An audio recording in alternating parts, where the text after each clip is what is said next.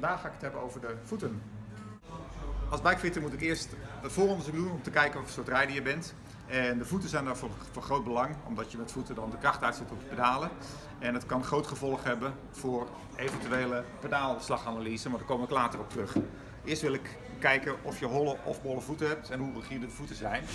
Uh, dan komen we af Milan, kunnen we kijken. Hij heeft uh, vrij normale voeten, tikje aan de vlakke kant, maar daar gaan we zo meteen even naar kijken. En soms kan het nodig zijn om met een goede inlegzool, ik zal het laten zien. Hij heeft, hij heeft bijvoorbeeld al een goede op maat gemaakte inlegzool. De meeste inlegzolen die in schoenen zitten zijn vrij slap. Met een goede inlegzool verdeel je de kracht beter over de hele voet, waardoor je weer efficiënter kan trappen. We gaan even kijken hoe de voorvoeten staan. Ik kom even zo op de tafel worden. En ja, en als je dan... Ik kom er even van boven schieten.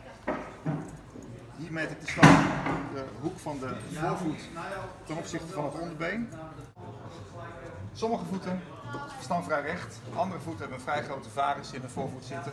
Dat meet ik met een speciaal apparaatje, waardoor ik kan zien hoe de voorvoet onder het bovenbeen staan.